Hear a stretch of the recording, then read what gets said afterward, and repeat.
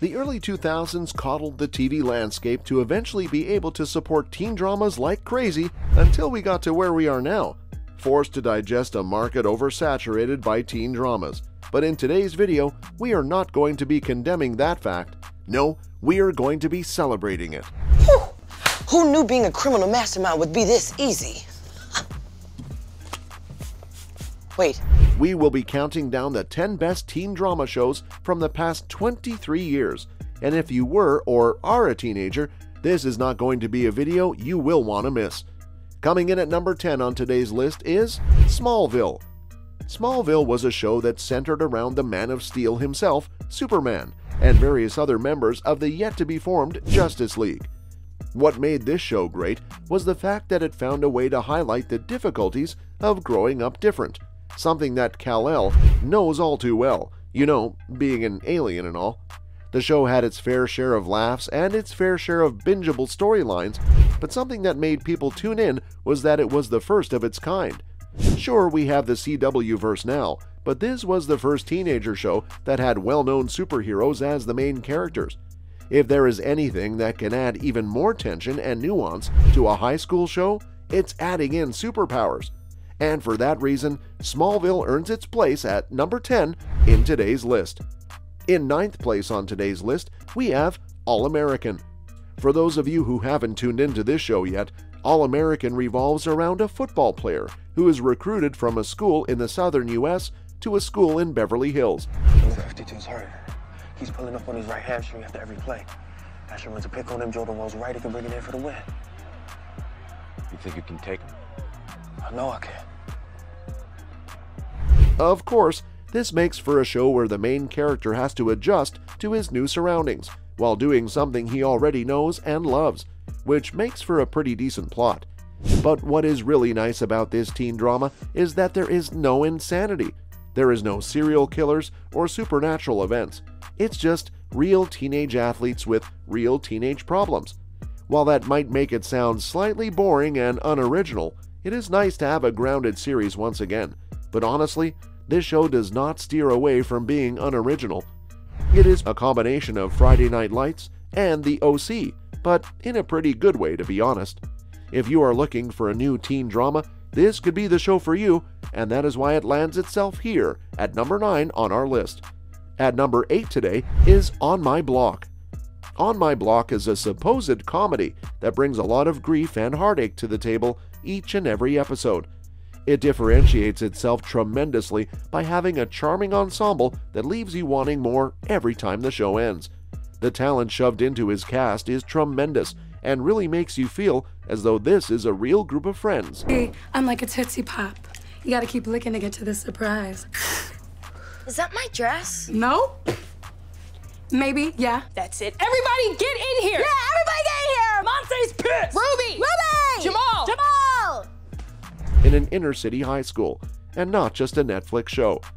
If you haven't watched this show yet, I would recommend you get on it, but make sure you have some tissues ready to go. In seventh place today is Skins. Skins was a gritty, messy, emotional, and relatable all at the same time. This show did not stray away from sensitive and scary topics like eating disorders, drug abuse, overdoses, dying young, etc. This show did a great job of showing the real life difficulties faced by modern high school students without sugarcoating anything. Skins has a great cast that thrives as a unit and really makes this one of the best teen dramas of the past 20 years. In sixth place on our list is Euphoria. Zendaya is a revelation in this show, and that may be part of the reason why this show is such a phenomenon. This show is very heavy and is the most recent modern answer to students going through high school. Zendaya's character is a recovering drug addict that falls in love with her transgender classmate, something that no other show has ever done before. If you want a modern teen drama that exemplifies what high school can be like for those who struggle to find themselves or an identity in society, this is the show for you. I mean, this show swept the nation when it first came out, and it continues to do so with every episode.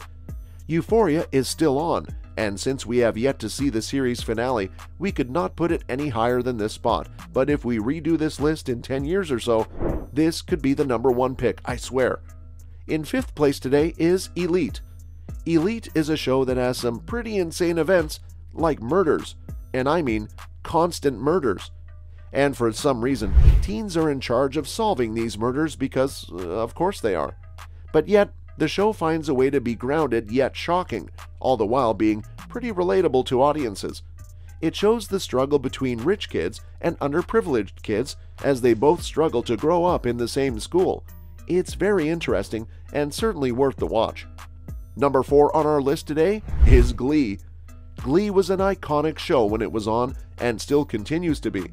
Tons of talent went through this show, and it was a unique take on high school life. With some amazing renditions of popular songs and some relatable situations, this show was a fun, yet somewhat real representation of high school living. Sure, this show had some truly terrible storylines, but they almost belonged in the show due to the fact that the idea itself was sort of terrible, and yet it sparked a cultural wave that has yet to crash. Taking the bronze medal on our list today is Gossip Girl. XOXO, third place on our list. Gossip Girl took the world by storm when it was on TV, taking the mean and vindictive life of high school and turning it up to 1000. The identity of Gossip Girl was a question that everyone wanted an answer to for the entirety of the show, which is what kept fans hooked, along with the amazing cast and classic high school issues. You knew this show had to make the list because how could it not, right? In second place on our list, taking the silver medal, is the OC. The OC made an entire generation want to be an indie rock band, and if that isn't influence, then I'm not sure what is. This show was universally adored when it was on and added a new rock and roll identity to teenagers growing up in the early 2000s. This was yet another no brainer for today's list. But number one is pretty obvious if you ask me. Taking the gold medal home today is Veronica Mars. You knew this show had to make the list thanks to its terrific writing, its strong mystery plot, and its fantastic cast.